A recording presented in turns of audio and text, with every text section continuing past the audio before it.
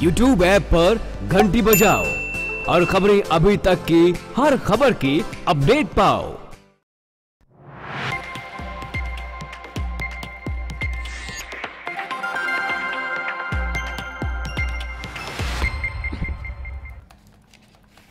नमस्कार बड़ी बात में आपका स्वागत है। मैं हूँ आपके साथ ज्योति सांकवा। और मैं कमल कौशिक। लंबे समय तक भारतीय राजनीति में कांग्रेस की विचारधारा का मुख्य चेहरा रखे डॉक्टर प्रणब मुखर्जी सात जून को नागपुर में होने वाले आरएसएस।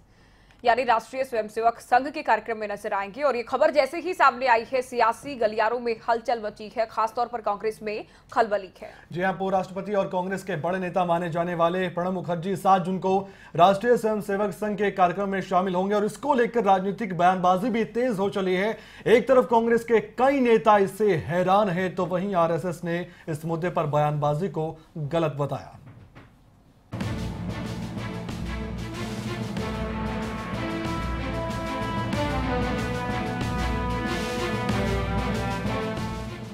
भारत के पूर्व राष्ट्रपति प्रणब मुखर्जी नागपुर में आरएसएस के मुख्यालय जाएँगे। उन्हें 7 जून को नागपुर में स्वयं सेवकों के विदाई संबोधन के लिए आरएसएस ने आमंत्रित किया है। प्रणब मुखर्जी संघ शिक्षा वर्ग के तृतीय वर्ष ओटीसी यानी कि ऑफिसर ट्रेनिंग कैंप में शामिल हो रहे स्वयं सेवकों को संबोधित करेंगे। आरएसएस के साथ पूर्व राष्ट्रपति के कार्यालय ने भी इस यात्रा की पुष्टि कर दी है। बताया जाता है कि प्रणब मुखर्जी इस कार्यक्रम में दो दिन शामिल होंगे। इसके बाद वो 8 जून को नागपुर से वापस लौटेंगे। लेकिन इस आमंत्रण के बाद केंद्रीय मंत्री नितिन गडकरी ने भी कहा है कि अगर प्रणब मुखर्जी आरएसएस के कार्यक्रम में जाते हैं तो बुरा क्या है? आरएसएस देशभक्तों का संगठन है। इसमें कोई बुराई की बात नहीं। उन्होंने कहा कि आरएसएस कोई आतंकी संगठन नहीं है, न ही कोई पाकिस्तानी संगठन है, इसलिए किसी को आपत्ति नहीं होनी चाहिए। ये करने वाले लोग दूसरे को कम्युनल कहते वो खुद कम्युनल है और बहुत छोटे दिल के हैं। मैं जब बीजेपी का अध्यक्ष बना तो कम्युनिस्ट पार्टी के मुख्यालय में हमारे नागपुर के ए बी बर्धन रहते थे और मैं उनको आइकॉन मानता था, उनके आशीर्वाद देने के लिए कम्युनिस्ट पार्टी के कार्यालय गया था। मुझे लगता है इतने छोटे दिल से काम नहीं होना चाहिए और प्रणब मुखर्जी अगर आते हैं तो अच्छी बात है। और संघ कोई ऐसा है कहेंगे, क्या? पाकिस्तान की संगठन है क्या? लगातार हो रही बयानबाजी पर राष्ट्रीय स्वयं सेवक संघ का भी बयान आया है। आरएसएस की ओर से कहा गया है कि जो लोग संघ को जानते हैं, उनके लिए ये कोई चौंकाने वाली बात नहीं है। हमने अपने कार्यक्रमों में पहले भी देश के बड़े लोगों को बुलाया है और इस तरह इस बार हमने प्रणब मुखर्जी को बुलाया है। वहीं कांग्रेस नेता टॉम वडकन ने कहा कि प्रणब मुखर्जी अब किसी पार्टी के सदस्य नहीं है, लेकिन कांग्रेस पार्टी और वो आरएसएस की विचारधारा के खिलाफ है। साफ़ तौर पर कांग्रेस का इस मसले पर कोई कमेंट नहीं आया। गौरतलब है कि पूर्व राष्ट्रपति प्रणब मुखर्जी सात जून को राष्ट्रीय स्वयंसेवक संघ के नागपुर मुख्यालय जाएँगे। वो संघ शिक्षा वर्ग के तृतीय वर्ष में शामिल हो रहे स्वयं सेवकों को संबोधित करेंगे। अब इस निमंत्रण पर और न्योतों को स्वीकार करने के बाद सवाल ये है कि क्या आरएसएस की स्वीकार्यता बढ़ रही है? ब्यूरो रिपोर्ट खबरें अभी तक। हाँ बिल्कुल। Yes it's a fact Mukherjee Nagpur में आरएसएस के मुख्यालय जाएँगे। उन्हें सात जून को नागपुर में स्वयंसेवकों के विदाई संबोधन के लिए आरएसएस ने आमंत्रित किया। और प्रणब मुखर्जी संघ शिक्षा वर्ग के तृतीय वर्ष यानी कि ओटीसी ऑफिसर ट्रेनिंग कैंप में भी शामिल होंगे और वहाँ पर संबोधित भी करेंगे। तो आरएसएस के साथ राष्ट्रपति पूर्व राष्ट्रपति का जो प्रेम है वो कांग्रेस को रास नहीं आया है। पूर्व राष्ट्रपति प्रणब मुखर्जी इस कार्यक्रम में शामिल तो होंगे लेकिन कांग्रेस के कई नेता हैं जो कि सामने आए हैं। खुले तौर पर कहा गया है कि पहले वो आलोचना करते रहे आरएसएस की लेकिन अभी ये प्रेम समझ से बाहर है। इसी को लेकर चर्चा हम करेंगे क्या आरएसएस की स्वीकार्यता बढ़ी है? इस पर चर्चा करेंगे एक खास पैनल के साथ। बीजेपी से प्रवक्ता वीरेंद्र सिंह चौहान साहब हमारे साथ हैं बहुत स्वागत है आपका। कांग्रेस से प्रवक्ता तरुण भंडारी जी हमारे साथ हैं आपका भी बहुत स्वागत है। इनेलू प्रवक्ता अशोक चिरवाल जी हमारे साथ हैं साथ ही विश्व हिंदू परिषद से विजय भारद्वाज जी हमारे साथ हैं। आप दोनों का बहुत स्वागत है। चौहान साहब क्या मानकर चला जाए कि आरएसएस की स्वीकार्यता बढ़ी है? जिस तरह से आमंत्रित किया गया प्रणब मुखर्जी को वो जाएँगे संबोधित करेंगे। कांग्रेस के कई नेताओं के बयान आए हैं इस कार्यक्रम को लेकर। देखिए पूर्व राष्ट्रपति प्रणब मुखर्जी राष्ट्रीय स्वयंसेवक संघ के संघ शिक्षा वर्ग तृतीय वर्ष के समापन समारोह में पहुँचेंगे। स्वयंसेवक जो शिक्षार्थी वहाँ पर हैं उनको सम, उनको संबोधित करेंगे। अ, इसको राष्ट्रीय स्वयंसेवक संघ की स्वीकार्यता बढ़ने के पैमाने के तौर पर अगर कोई देख रहा है तो मैं ये समझता हूँ ना वो संघ को जानता है ना संघ के विस्तार को जानता है है। न संघ के विचार की व्यापकता को जानता है। राष्ट्रीय स्वयंसेवक संघ संसार का सबसे बड़ा गैर अ, सरकारी संगठन है। राष्ट्रीय स्वयंसेवक संघ केवल भारत में नहीं विश्व के सैकड़ों देशों में कार्य करता है भारतीय मूल के जो लोग जहाँ कहीं भी रहते हैं वहाँ राष्ट्रीय स्वयंसेवक संघ रहता है। अपने हरियाणा की अगर हम बात करें तो हरियाणा के प्रत्येक खंड में राष्ट्रीय स्वयंसेवक संघ की शाखा लगती है चाहे वो गाँव हो चाहे शहर हो। तो राष्ट्रीय स्वयंसेवक संघ का व्याप राष्ट्रीय स्वयंसेवक संघ की स्वीकार्यता या राष्ट्रीय स्वयंसेवक संघ का विस्तार वो आदरणीय प्रणब मुखर्जी के वहाँ आने से उसको जोड़कर देखना ये मैं समझता हूँ कि ये बहुत तात्कालिक सा विश्लेषण है। हाँ ये बात ज़रूर है कि राष्ट्रीय स्वयंसेवक संघ के कार्यक्रमों में डॉक्टर मुखर्जी समेत देश के बड़े बड़े नेता देश के बड़े बड़े महानुभाव सेना के अधिकारी न्यायाधीश विभिन्न समाज जीवन के क्षेत्रों के लोग अलग अलग विचारधाराओं के भी जो सीधे तौर पर संघ की विचारधारा को पहले स्वीकार नहीं करते हैं उनको भी राष्ट्रीय स्वयंसेवक संघ अपने तो कार्यक्रमों में कुछ, नहीं राष्ट्रीय। स्वयंसेवक संघ बुलाता रहा है पहले भी हाँ। उनका स्वागत करता है अपनी बात कहता है अपने विचार को उनके सामने रखता है क्योंकि संघ बहुत व्यापक दृष्टिकोण वाला संगठन है। इसलिए मैं सिर्फ़ ये कहूँगा कि ये बहस डॉक्टर प्रणब मुखर्जी के वहाँ जाने से जोड़कर नहीं होनी चाहिए। हाँ राष्ट्रीय स्वयंसेवक संघ का विस्तार कितना हो रहा है इसकी कल्पना आप इस बात से कर सकते हैं मैं- मैं ए, एक टिप्पणी कर दूँ। स्वीकार्यता की जहाँ तक बात है साहब अ, ये संयोग की बात है कि आज और ये सुखद बात है कि राष्ट्रीय स्वयंसेवक संघ के स्वयंसेवक समाज जीवन के हर क्षेत्र में काम कर रहे हैं और इतना उसका विस्तार है इतना उसकी स्वीकार्यता है कि राष्ट्रपति भवन में जो राष्ट्रपति के रूप में है वो भी संघ के स्वयंसेवक है जो प्रधानमंत्री हैं भारत के वो भी संघ के स्वयंसेवक हैं। और देश के उपराष्ट्रपति हैं वे भी संघ के नहीं कहा हैं। हमने नहीं कहा कि स्वीकार्यता कम है लेकिन कांग्रेस ये मानती है। कांग्रेस ये मानती है कि ये संगठन देशद्रोही है आतंक से इसके लिंक हैं कांग्रेस ये भी कहती है। नासमझ लोग हैं अगर इस तरह की बात बहुत बार ऐसा कहा गया। तो कांग्रेस के बड़े चेहरे के तौर पर प्रणब मुखर्जी रखे। अब वो जाएँगे क्या कांग्रेस के लिए भी स्वीकार्यता बढ़ने की बात है? क्या कांग्रेस की कहानी के लिए नया पेंच हो सकता है? ये ये एक बात ये महत्वपूर्ण बात क्या है? कि जब कांग्रेस का कोई नेता छोटा या बड़ा हम्म। संघ को देशद्रोही संगठन कहता है तो वो अपना मखोल उड़वाता है। हम्म। अपनी नासमझी अपनी समझ की कमी का प्रमाण देता है। हम्म। देश में अगर सर्वाधिक राष्ट्र प्रेमी लोगों का कोई संगठन है तो राष्ट्रीय स्वयंसेवक संघ है। एक उदाहरण देता हूँ केवल आगे बढ़ने से पहले कि पंडित नेहरू संघ के वैचारिक विरोधियों में शुमार थे। लेकिन 1962 की लड़ाई के समय राष्ट्रीय स्वयंसेवक संघ के स्वयंसेवकों ने दिल्ली का ट्रैफ़िक संभालने में और अन्य अन्य स्थानों पर सेना की मदद जैसे कि एक क्षण एक क्षण एक क्षण एक क्षण। ये बात कहने दीजिए बड़ी महत्वपूर्ण बात है तो पंडित नेहरू हाँ। पंडित नेहरू ने स्वयं आगे बढ़कर राष्ट्रीय स्वयंसेवक संघ के स्वयंसेवकों को गणवेश में वो रिपब्लिक डे की परेड में आमंत्रित किया था। वो तो तो राष्ट्रद्रोही भी जो कहता है वो नासमझ है प्रभावित थे डिसिप्लिन से तो वो मैं- भी सबको मालूम केवल डिसिप्लिन नहीं हमारे हमारे हमारे देश प्रेम पर अगर कोई सवाल उठाता है तो स्वयं संदिग्ध है। संबंधित इंद्रेश कुमार की हम कुछ बातें कुछ बयान सुनाते हैं उसके बाद चर्चा पर फिर से लौटेंगे। There must be a true secularism, not a appeasement of secularism. और एक झंडा और एक नागरिकता रहनी चाहिए। इसका भी कहीं ना कहीं एक तरफ़ उनकी ज़िंदगी में दिखती थी। उनका जाना राजनीतिक नज़रिए से नहीं देखा जाना चाहिए। अब वो किसी एक राजनीतिक दल के सदस्य भी नहीं रहे हैं। और आगे के पूरे जीवन के अंदर वो किसी एक राजनीतिक दल के सदस्य बनकर रहने वाले भी नहीं हैं। राष्ट्रीय स्वयंसेवक संघ गैर राजनीतिक है, सांस्कृतिक, सामाजिक, मानवीय समाज सेवी और राष्ट्र के उत्थान तरुण भंडारी साहब संदीप दीक्षित ये कहते हैं कि अब कैसे प्रेम जाके आँख? है वो कड़ी आलोचना करते रखे प्रणब मुखर्जी की ओर से कड़ी आलोचना की गई। देश से बाहर निकाल दिया जाए आरएसएस को ये भी कहा गया। अब वो आमंत्रण पर जा रखी है इसको कैसे समझा जाए? ऐसा है ज्योति जी इससे पहले भी जब वो राष्ट्रपति थे तो ये कई बार इनकी मुलाकातें हो चुकी हैं। राष्ट्रपति भवन में भी ये जाके मिल चुके हैं। और जहाँ तक संदीप दीक्षित जी की बात है उन्होंने बिल्कुल सच कहा है। 2010 में जब बुराड़ी में हमारा कांग्रेस का अधिवेशन था हाँ। तब हमारे माननीय प्रणब मुखर्जी ने ये कहा था कि संघ के ऊपर बैन लगना चाहिए और भी कई बातें गई थी। परंतु ये मैं ये भी बताना चाहता हूँ कि जो संघ का ये कार्यक्रम होता है इस, इसमें विपरीत विचारकों के लोगों को बुलाया भी जाता है। इसमें जवाहरलाल नेहरू जी भी गए थे। और भी कई हस्तियाँ इसमें जा चुकी है। ये कोई इतनी बड़ी बात नहीं है कि प्रणब मुखर्जी वहाँ चले गए तो संघ का बहुत बड़ा वो हो गया उसकी तरफ़ उसका मूड हो गया।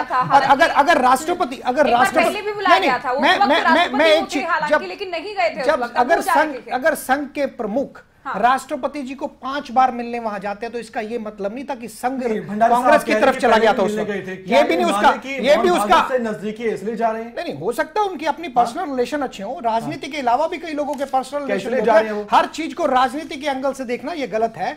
अगर वो जा रहे आप ये देखिए जब वो राष्ट्रपति थे तब प्रमुख कितनी बार उनसे मिलने गए? कई बार तो कई और लो- और लोगों की मुलाकातें रद्द होगी परंतु इनकी नहीं इनकी रद्द नहीं हो पाई। इनकी मुलाकात अच्छे ढंग से हुई। क्या इनके आपस में पर्सनल रिलेशन भी हो सकते हैं जिनके कारण वो जा रहे हैं? जहाँ तक बात है कि संघ के खिलाफ उनकी बात करने की ये प्रणब मुखर्जी ने कई बार कई मंचों से बोला जिसमें 2010 का। जो पुरानी अधिवेशन था उसमें तो उन्होंने क्लियर चौहान बोला। साहब एक बार सब सबके पास चले जाएँ। विजय भारद्वाज जी आपके पास आना चाहेंगे। क्या लगता है कि कहीं ना कहीं राष्ट्रवाद के उभार से बढ़ रही है आरएसएस की स्वीकार्यता? नहीं देखिए पता क्या बात है? असल में जिन कांग्रेस के नेताओं ने राष्ट्रपति पूर्व राष्ट्रपति के वहाँ पे जाने पे ऑब्जेक्शन की है असल में उनकी अगर समय ज़्यादा नहीं मैं शॉर्ट में आपको बताता हूँ उनकी जो। मानसिकता है वो अंग्रेज़ों की मानसिकता वाली बात है। अंग्रेज़ आरएसएस से डरते थे। आज़ादी से पहले अंग्रेज़ आरएसएस से डरते थे और इनको देशद्रोही समाजद्रोही। राष्ट्रद्रोही हर तरह की इनके ऊपर बात करते थे और इनको संगठित होना देना चाहते थे। ये जो अंग्रेज़ों की मानसिकता जो अंग्रेज़ों की आप दी हुई कीजिएगा एक बार फिर से आएँगे विस्तार से जवाब दीजिएगा। भंडारी साहब आपको क्या कहना है? मैं बताता हूँ आज़ादी से पहले तो अंग्रेज़ों के दोस्त थे संघ के लोग नहीं है। मैंने अभी संघ के लोग दोस्त थे अंग्रेज़ों के। अभी इनकी जानकारी मैंने दी नहीं है। दोस्त पंडित नेहरू थे। मैं क्या आज़ादी में किसने आपने आज़ादी में क्या किया? तो जनता पार्टी का आज़ादी की लड़ाई में तो पंडित नेहरू आज तक कोई लोग लोग कोई महात्मा गांधी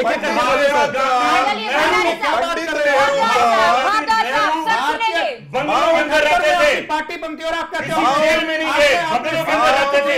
शाही बाग से रहते थे। उसके बाद हमारे हमारे सैनिक आरएसएस के। कितनी बार जेलों में गए, कितनी बार शहादत सावरकर की। जी देखो हमारे कितने लोगों ने क्या बात कर रहे हो? भंडारी जी, साहब,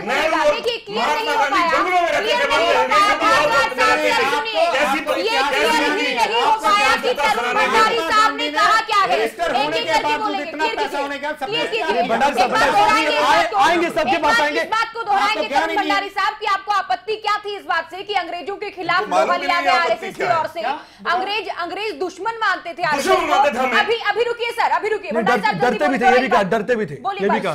किससे किससे अंग्रेज़ अंग्रेज़ डरते थे RSS से। उसको लेकर आपको क्या आपत्ति है? आप क्यों डर रहे हो? विजय भारद्वाज जी कह रहे हैं बोलो, आराम से बात है? क्या अंग्रेज़ों की मानसिकता है? कांग्रेस की सुनिए मेरी बात। शहादत जिन लोगों ने दी महात्मा गांधी के बारे इनके आज जिनको ये कह रहे हैं महात्मा जी ने कौन सी शहादत कौन सी शहादत? नहीं, नहीं, किसने? उनका उनका कौन सी शहादत? महात्मा गांधी ब्रिटिश के बाद उन्नीस सौ सैंतालीस से पहले कौन सी शहादत महात्मा जी की शहादत? कंप्लीट होगी? कांग्रेस की शहादत भंडारी साहब भंडारी साहब उत्तेजना में? मत आइए उत्तेजना में मत आइए नहीं नहीं उत्तेजना में मत आइए भंडारी साहब। नहीं नहीं भंडारी साहब शहीद भी नहीं कांग्रेस भंडारी के साहब थे? भंडारी साहब तरुण भंडारी साहब क्या शहीद भी कांग्रेस के थे आप कांग्रेस ये कहेगी। कांग्रेस ने आज़ादी के लिए। सब कुछ किया इस देश को जो। अंग्रेज़ों के पिट्ठू थे। भंडारी साहब भंडारी साहब भंडारी साहब सुनिए। सुनने का मामला भंडारी साहब भंडारी साहब सुनिए सुनिए आप। जिग्नेश नहीं नहीं चौहान साहब आएँगे। जिग्नेश वाणी कुछ कह रहे हैं उनका बयान आया है इसी मसले को लेकर। पहले वो सुनते हैं उसके बाद चर्चा में आएँगे। देश में संविधान को खत्म करके मनुस्मृति को लागू करना चाहता है। और 1925 से एक फांसीवादी ताकत के रूप में वो हमारे देश में पनपा है। मैं व्यक्तिगत रूप से ऐसा मानता हूँ कि किसको कहाँ जाना वो उसकी पसंदगी का विषय है। लेकिन जो राष्ट्रपति रह चुके ऐसे व्यक्ति प्रणब मुखर्जी का आरएसएस के कैंप में जाना, वो उचित बात मुझे नहीं लग रही है। लेकिन जब आ ही रहे हैं तो मेरा उनसे इतना सजेशन है। कि आरएसएस की दुकान को ताला लगाकर वापस चले जाए चौहान साहब आरएसएस की दुकान को ताला लगाकर वापस चले जाएँगे। वानी को ये उम्मीद मैं मैं बहुत विनम्रता से एक बात कहना चाहता हूँ। राष्ट्रीय स्वयंसेवक संघ की वैचारिक दुकान सांस्कृतिक दुकान पर ताला लगाने की कांग्रेस ने जिनके की पिट्ठू मेवानी भी खुद है तीन बार कोशिश की। तीन बार राष्ट्रीय स्वयंसेवक संघ पर झूठे आधारों पर कांग्रेस की अलग अलग सरकारों ने प्रतिबंध लगाया। तीनों बार कानून का दुरुपयोग करके प्रतिबंध लगाया और उसी कानून के तहत वो प्रतिबंध इनको वापस लेना पड़ा। रत्ती भर ये कुछ प्रमाणित नहीं कर पाए। चाहे 48 में महात्मा गांधी की हत्या के बाद झूठा आरोप लगा के प्रतिबंध लगाया हो और चाहे तीसरी बार जब अयोध्या में वो बाबरी ढांचा गिराया गया, तब संघ पर प्रतिबंध लगाया हो। राष्ट्रीय स्वयंसेवक संघ कोई स्वार्थ की राजनीति का संस्थान नहीं है। वो राष्ट्रवादियों का ठिकाना है राष्ट्रवादियों के ठिकाने पर किसी मेवानी से या उसके कहे से कहीं ताला लग नहीं सकता किसी की हिम्मत नहीं है। एक छोटी सी टिप्पणी और जल्दी, थोड़ा जल्दी। एक एक बात ये कहना चाहता हूँ। हमारे भंडारी जी बड़े आक्रोश में कह रहे थे संघ अंग्रेज़ों का पिट्ठू था। साहब अंग्रेज़ों के पिट्ठू कौन थे मैं बताता हूँ। अंग्रेज़ों के पिट्ठू वो पंडित नेहरू तो हो सकते हैं भंडारी साहब भंडारी साहब सुन लीजिए। भंडारी साहब सुन लीजिए। उत्तर भंडारी देता साहब सुन लीजिए। मैं उत्तर देता हूँ देखो मैं ऐसे मैं चर्चा- तथ्य लाता हूँ। हाँ अंग्रेज़ों के पिट्ठू। पंडित नेहरू इसलिए कहला सकते हैं क्योंकि उनकी मित्रता लॉर्ड माउंटबेटन से बहुत गहरी। मित्रता किसी से रखती नहीं, तो बात कर रहे हैं। आप भंडारी आप बोलने भंडारी सुनो, हो, भंडारी है? भंडारी हाँ, सुनना पड़ेगा सुनना पड़ेगा आपको सुना आपने अंग्रेज़ों के पिट्ठू पंडित नेहरू या उनके मित्र मंडली हो सकती है जिनकी मित्रता एडविना माउंटबेटन से चलिए, हूँ, संघ- अंग्रेज़ों के संघ- पिट्ठू हो सकते संघ हैं के आपने बारे कहा में- अभी। संघ के बारे में है, एक मिनट एक एक मिनट एक मिनट सुनिए। देश के पहले पीएम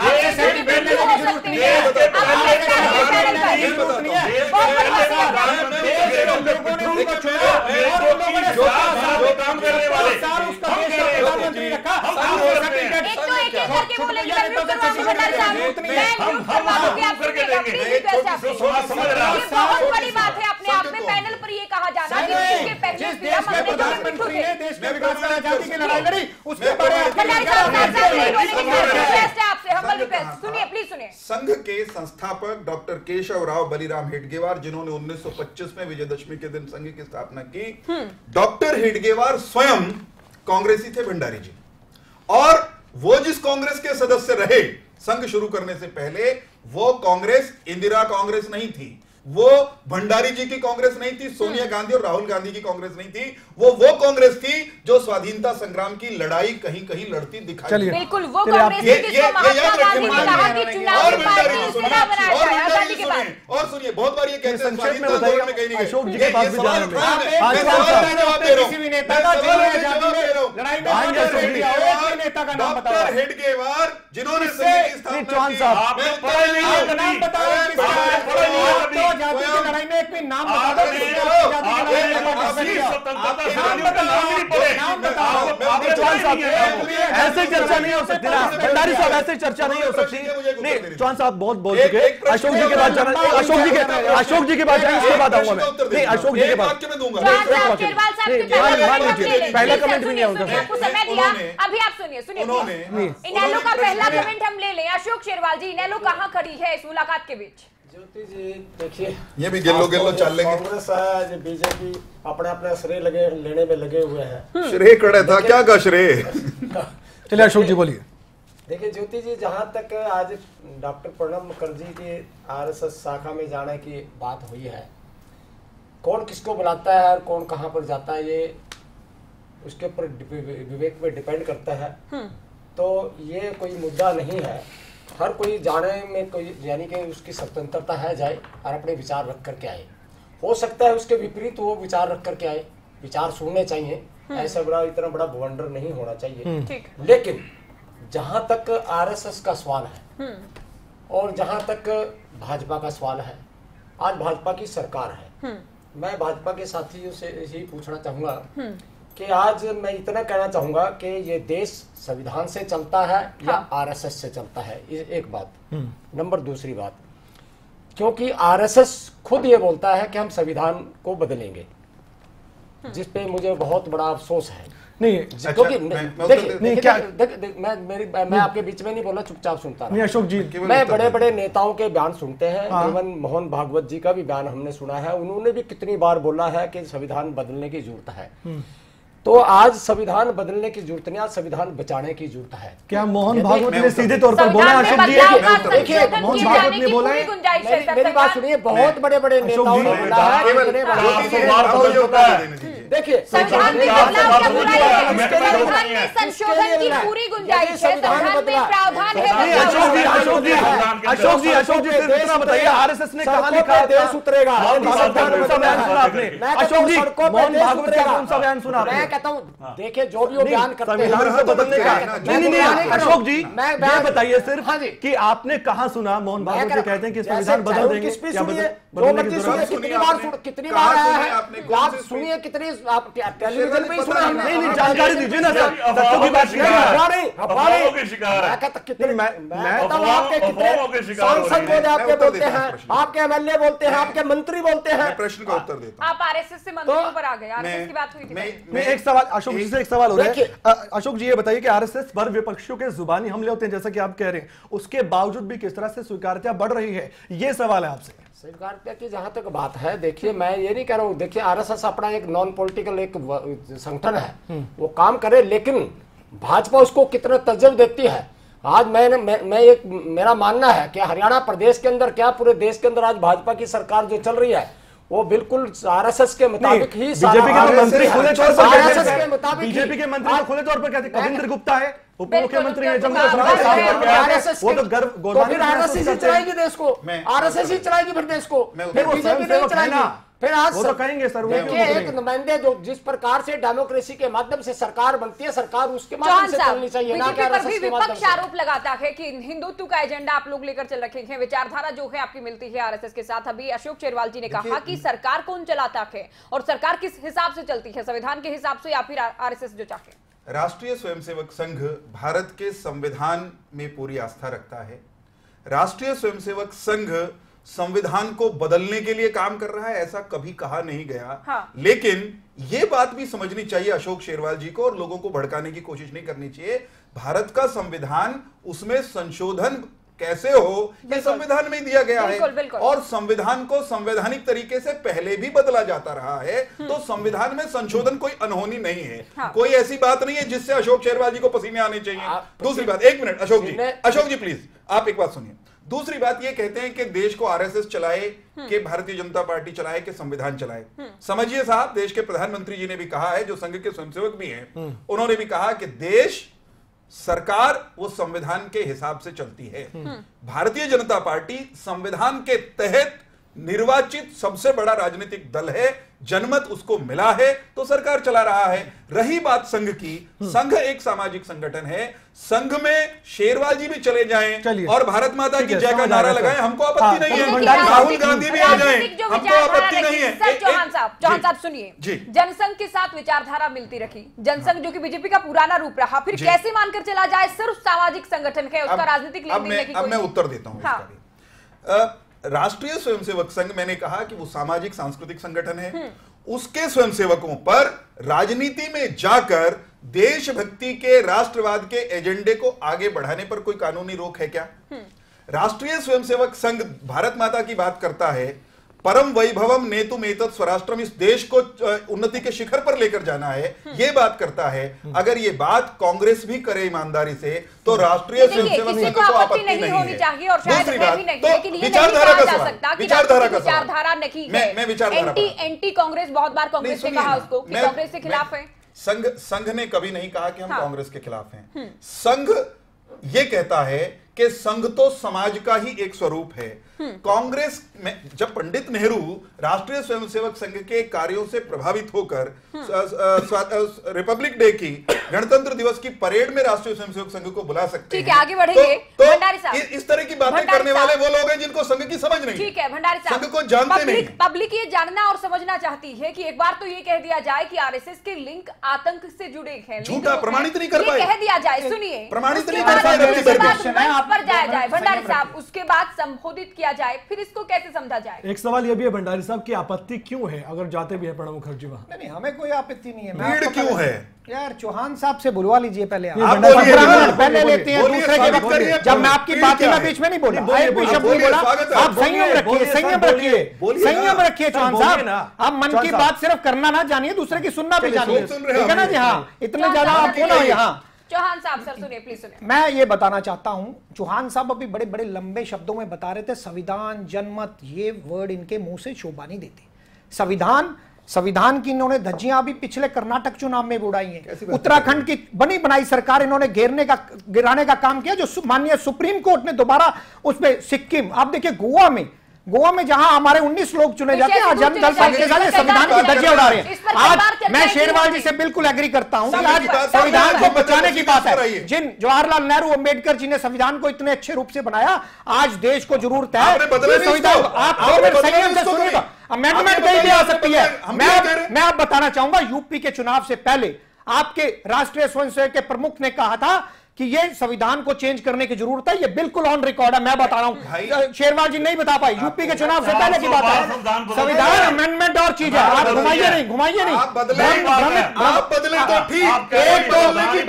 ज्योति जी इनमें संयम नहीं है बात सुनने का। मैं इनके वक्त में एक भी शब्द नहीं बोला। मैंने इन्होंने कई ऐसी ऐसी टिप्पणियाँ करी जो सुनने के लायक भी नहीं थी। ये बात सुनने के लिए यही तो बात है। आज इनकी सरकार है राज इनके सिर पे चढ़ गया लोगों की बात नहीं सुन रहे इनकी वो हालात हो गए। जनता इनको जनता इनको इतिहास बना देगी इतिहास। ये मैं बता रहा हूँ। भंडारी इनका बात सुनने के सुनने का संयम भंडारी साहब एक सवाल ये भी है दो सवाल और जनमत की बात कर रहे हो वो भी जनमत था उत्तराखंड में भी जनमत था। गोवा में भी जनमत था। जनमत तो था। जनमत आपके दूसरी बात मैंने पहले प्रणब मुखर्जी जो संघ ने आज तक देश से लिंक है भारतीय जनता पार्टी और संघ का एजेंडा। हमेशा राज करने का इस ढंग से रहा कि देश को बांटो फिर राज करो। इस इसके मैं प्रमाण दूँगा मैं आपको प्रमाण दूँगा। मेरी बात मेरी बात सुनिए। आप देखिए अगर अगर आज पश्चिम बंगाल में एक साल पहले हम इनके अमित शाह जी जाते हैं और उसके बाद वहाँ दंगे होते। हरियाणा में भाईचारा हमेशा कायम रहा। आज तक जब से हरियाणा बना यहाँ मुस्लिम और हिंदू को नहीं बांट पाए। यहाँ भाईचारे को खत्म इन्होंने जाट नॉन जाट के रूप में करने की कोशिश की सर? जवाब पर नहीं आएँगे बताइए आतंक से लिंक है आरएसएस का ये बात कही गई। संदीप दीक्षित खुद बोलते हैं कि आरएसएस आरएसएस का आतंक से लिंक है। आप उन्हीं के कार्यक्रम में जनता कैसे समझे? ये विरोधाभास नहीं अपने आप मेरी बात का जवाब लेंगे इसका जवाब लेंगे लेकिन छोटा सा ब्रेक ले लेते हैं भंडारी साहब। विस्तार से आप सोचकर इसका जवाब दीजिएगा। फ़िलहाल एक छोटा सा ब्रेक लेंगे निकलता ज़रूर में चर्चा ब्रेक के बाद भी जारी रहेगी। तो लगातार हम चर्चा कर रहे हैं कि प्रणब मुखर्जी आरएसएस मुख्यालय जाएँगे, वहाँ पर संबोधित करेंगे जो आरएसएस के वहाँ पर कार्यकर्ता होंगे और इसी पर जो है, जो राजनीतिक गलियारों में चर्चा है, जो बयानबाजी है, उसका दौर जारी हो चुका है। आपके पास आना चाहेंगे तरुण भंडारी साहब, एक जवाब तो पहले ही आपसे लेना लेकिन एक सवाल ये भी है कि क्या इस दौरे के बाद राजनीतिक लिहाज से कांग्रेस को आने वाले 2019 चुनाव में क्या नुकसान झेलना पड़ सकता है?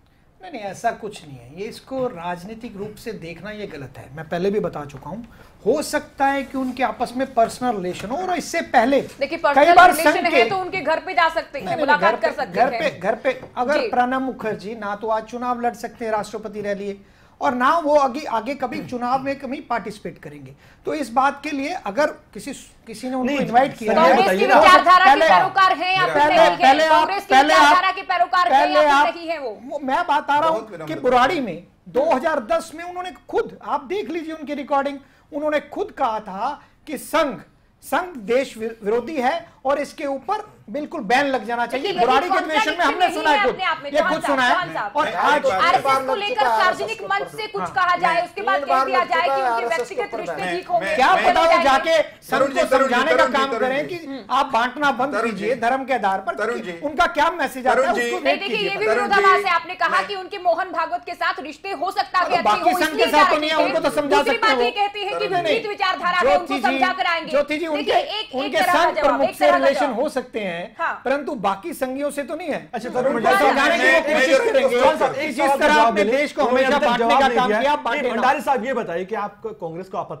है किस पे? जिन हमें दौरे कोई पर जा रहे आपत्ति नहीं कहीं भी प्रणब मुखर्जी जाएँ। लेकिन वो कांग्रेस उनका के बड़े पर्सनल नेता उनका मौन क्यों पर्सनल हैं? ना वो तो ये वो आज कहते नज़र आ रहे जनरल हैं कि no ना वो आज हमारे संगठन में है। जब वो हमारे संगठन में थे जब उन्होंने कांग्रेस के लिए काम किया तब उनके विचारों की बात। मैं आपको बता रहा हूँ। उनके विचार बिल्कुल भंडारी क्लियर थे कि संघ के ऊपर बैन। लगना अभी सुनेंगे अभी सुनेंगे मैं केवल ये बात कहना चाहता हूँ कि भंडारी साहब बार बार पूछे जाने पर भी ये बताने की स्थिति में नहीं है कि संघ से इनको परेशानी क्या है। असली बात यह है कि कांग्रेस के बड़े बड़े जो नेता हैं और देश के और सभी वर्गों के जो बड़े बुद्धिजीवी और या नेतृत्व के शिखर पर पहुँचे लोग हैं उन्होंने संघ के करीब आकर जब संघ को देखा तो संघ को राष्ट्रवाद से भरपूर सराबोर पाया। अ, महात्मा गांधी। महात्मा गांधी संघ के एक शिविर में आए। जैसे शिविर में अभी स्वयं चल करके प्रणब मुखर्जी जाने वाले और वहाँ पर आने के बाद उन्होंने पूछा कि आपके संघ में ये अनुसूचित जाति के जो स्वयंसेवक भी होते हैं क्या? अगर होते हैं तो वो कहाँ खाना खाते हैं? तो संघ प्रमुख ने और वहाँ जो अधिकारी हमारे थे उन्होंने कहा कि साहब हमारे यहाँ कौन अनुसूचित जाति है कौन कौन सी जाति है ये तो पूछते ही नहीं। यहाँ सबके सब एक साथ एक पंक्ति में बैठकर खाना खाते हैं। एक सेकंड एक बीच में नहीं बीच में नहीं एक मिनट एक पूरा। एक मिनट मैं वही आ- जी। पूरा तो करने दीजिए ना। तो संघ की इस बात को व्यवहारिक रूप से जातिवाद को समाप्त करना इस प्रभावी कार्य को देखकर महात्मा गांधी प्रसन्न होते हैं। डॉक्टर अंबेडकर संघ के नज़दीक आए संघ को समझा और संघ की तारीफ़ की। सेना के अनेक बड़े अधिकारी सेनापति न्यायाधीश उन सबने संघ के काम को सराहा स्वाधीनता से पहले स्वाधीनता के बाद ठीक। है, दूसरी बात एक बार बार हिंदुत्व की बात की जाती है हाँ। और उसको कहकर ये हमारे कांग्रेस के मित्र भंडारी जी जैसे कभी कभी क्योंकि इन्होंने हिंदुत्व को समझने की कोशिश नहीं की। एक मिनट भंडारी जी आपकी बारी में बोल लीजिएगा। हिंदुत्व को लेकर जो ये सवाल उठाते हैं कि बांटता है साहब देश के सर्वोच्च न्यायालय ने Supreme Court of this country उसने कहा कि हिंदुत्व किसी पंथ संप्रदाय या धर्म का नाम नहीं है। हिंदुत्व भारत की इंडिया की जो जीवन शैली है उसका नाम है। ये सुप्रीम कोर्ट ने कहा मैंने नहीं कहा।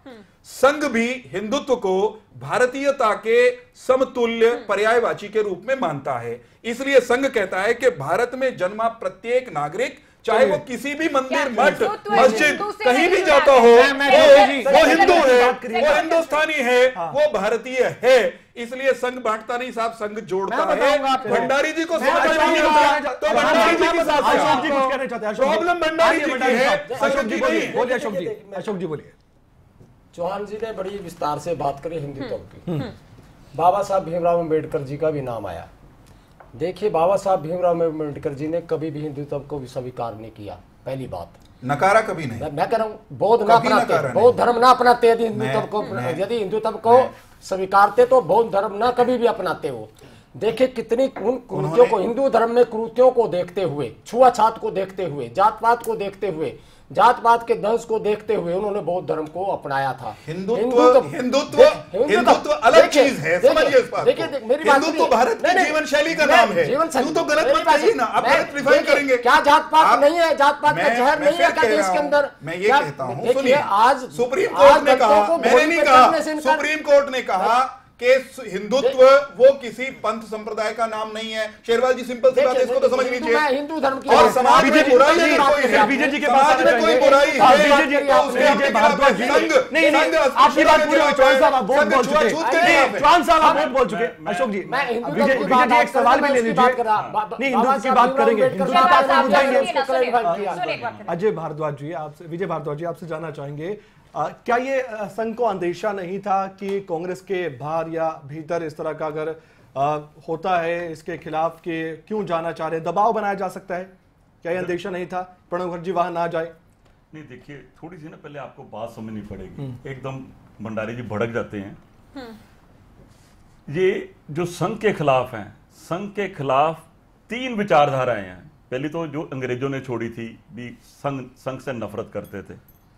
दूसरी कांग्रेस ने अपना ली, जो इज्म इज्म ही है गांधीइज्म वाली जो विचारधारा है, वो संघ के साथ इनका ईट कुत्ते का वैर है, बिल्कुल ही।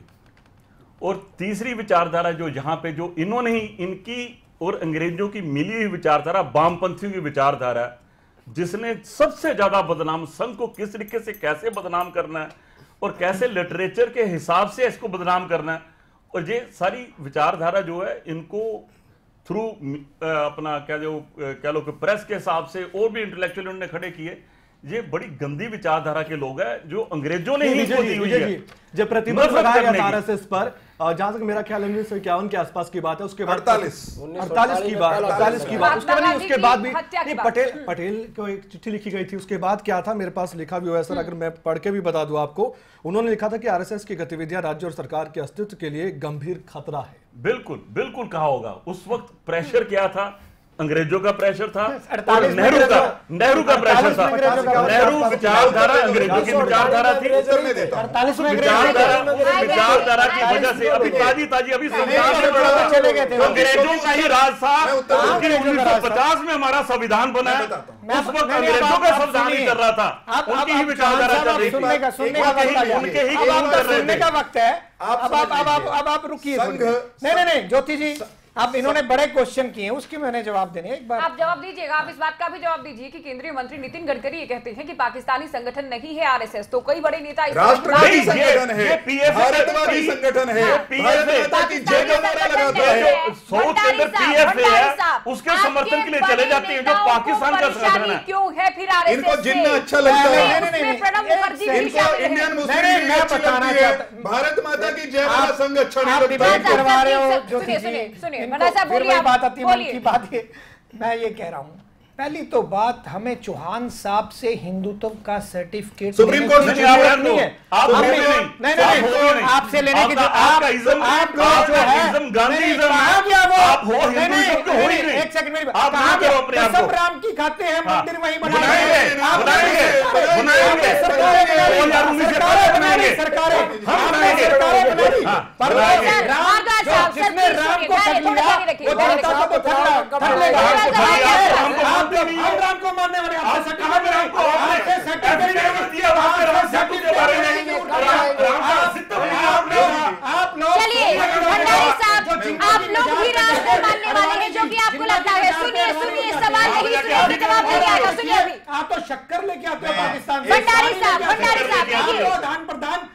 व्यापार का करने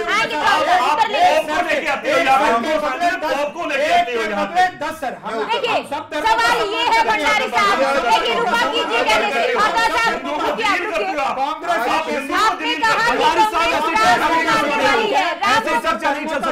भंडारी साहब साहब साहब बोलने से चर्चा होगी क्या आपने कहा कि राम को मानने वाले हैं हम लोग तो आरएसएस भी राम को मानने वाले खुद को बताती है तो कांग्रेस को परेशानी क्यों कांग्रेस को परेशानी बहुत छोटा सा भंडारी एक सवाल एक सवाल भंडारी साहब एक सवाल एक सवाल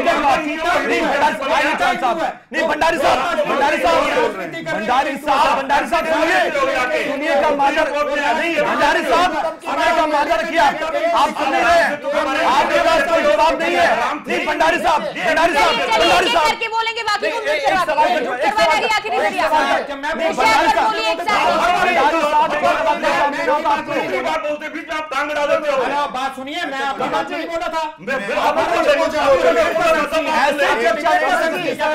ऐसे चर्चा नहीं चल सकती भंडारी साहब एक कौन साहब आएँगे आपके आपके पक्ष में एक बात कहना चाहता हूँ पूर्व जज हैं केटी थॉमस उन्होंने भी ये कहा था कि आरएसएस है तो भारतीय सुरक्षित है बताइए ऐसा है कि किसी के क्या विचार है? हम तो आज बता रहे हैं जहाँ पे भी संघ गया है वहाँ धर्म के नाम पे बांटा है उन्होंने जाति के नाम पे बांटा है। मैं अपना पक्ष रख रहा हूँ। आप देखिए आप हरियाणा में आए हैं पहली बार। यहाँ इन्होंने भाईचारे को खत्म करने का काम। चार बार इन्होंने जलाने का काम किया। अगर यूपी में चुनाव होते हैं वहाँ मुजफ्फरनगर दंगे होते हैं। अगर गुजरात में चुनाव होते हैं वहाँ दंगे होते हैं। ये तो दंगे कराने वाली पार्टी है। टिप्पणी उसके बाद चौहान साहब आपके पास आएँगे अंतिम। करना चाहूँगा। जी। क्योंकि इस बहस में कोई रिज़ल्ट नहीं निकल बताइए अशोक जी। मैं निकाल देखिए जहाँ तक हिंदुत्व की बात हो रही है। ये देश धर्म निरपेक्ष कंट्री है। हिंदू मेरी बात नहीं बात ही नहीं कंप्लीट होने देते किसी की बात नहीं कंप्लीट होने देते। ये सोच के आए आप लोग सोच के आए सभी एक साथ ही बोलेंगे एक एक करके बोला कीजिए प्लीज़ रिक्वेस्ट की बात होनी चाहिए फिर पर। हम्म। इस ये कंट्री धर्म निरपेक्ष कंट्री है इसमें हर धर्म के मज़हब के लोग रहते हैं हाँ। हर धर्म की बात होनी चाहिए ना कि हिंदुत्व की बात होनी चाहिए। इसका मतलब ये हिंदुओं की बेइज्जती करते हैं आप हिंदू की बात आप करते हैं। हिंदू की बात आप की बात हर धर्म की बात होनी चाहिए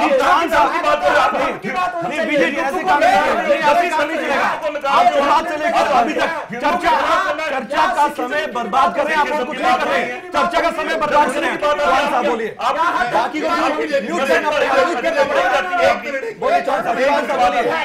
बोलिए बोलिए। चौहान अशोक जी पहले अशोक जी की बात अशोक जी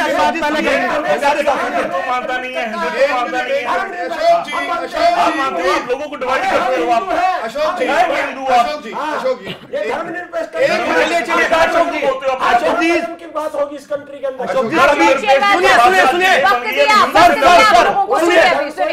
मैं आपको बता दूँ, सभी भारतीय सभी भारतीय सर सभी भारतीय बात खत्म हो जाती है यहाँ पर। बोलिए चौहान साहब। मैं विनम्रता से एक बात कहता हूँ।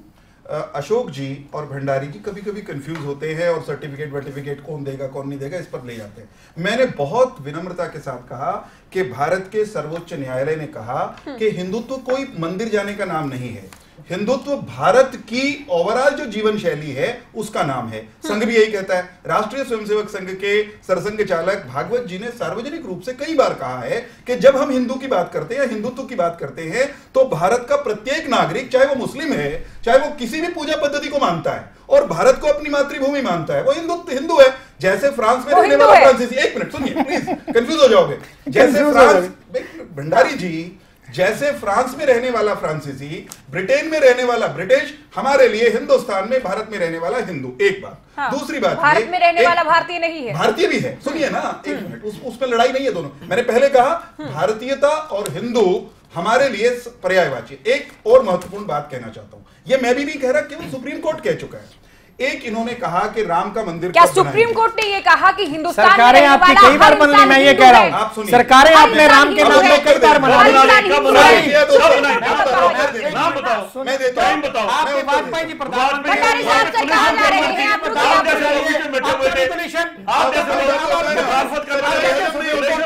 आप कहते हैं सुप्रीम कोर्ट ने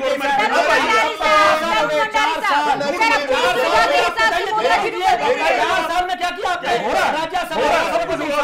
आपने? मेरी बात क्या का बोलिए? जवाब आप झूठ के नाम पे शोर दो हज़ार उन्नीस के पहले मंदिर बनेगा मुझे सिर्फ़ दो हज़ार उन्नीस मंदिर बनेगा मैं बताऊँगा आप लोग नहीं विजय कहते हो जी हिंदुओं को। भंडारी साहब चर्चा में शोर मचाने से कुछ नहीं होगा। बहुत साहब, दस बहुत सेकंड, बड़ा सवाल था। सुप्रीम कोर्ट ने कब कहा हर हिंदुस्तानी हिंदू है। सुप्रीम कोर्ट ने कब कहा कि हिंदुस्तान में रहने वाला हर शख्स हिंदू है? देखिए समझ लीजिए पढ़ लीजिए। पढ़ लें हाँ पढ़ाओ पढ़ाओ जस्टिस कुलदीप सिंह के सामने प्रश्न आया था कि हिंदुत्व क्या है तो जस्टिस कुलदीप सिंह ने सुप्रीम कोर्ट के न्यायाधीश एक फैसले में उन्होंने कहा Hindutva does not mean any religion एक किसी पंथ या संप्रदाय का नाम नहीं है वो भारत की जीवन पद्धति है यही संघ कहता है। एक छोटी सी बात और कह दूँ। एक मिनट, सुन लीजिए, हिंदू please है, सुन लीजिए, सुन लीजिए आप सुन तो लीजिए।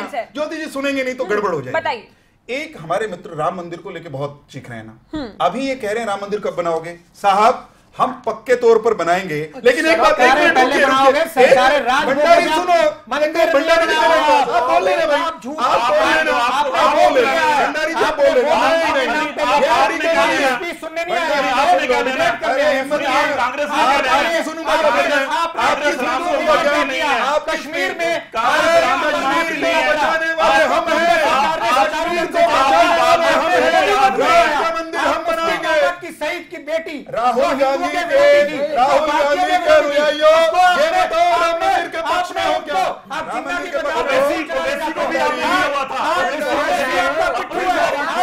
हो, ओवैसी ओवैसी को भी आप नहीं है। आप आपके ओवैसी बोल में था ओवैसी ओवैसी को भी आप बुला रहे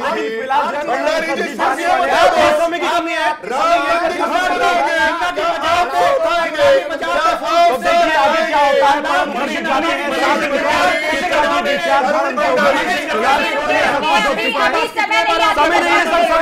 नहीं नहीं सर शुक्रिया मेहमानों शुक्रिया। शुक्रिया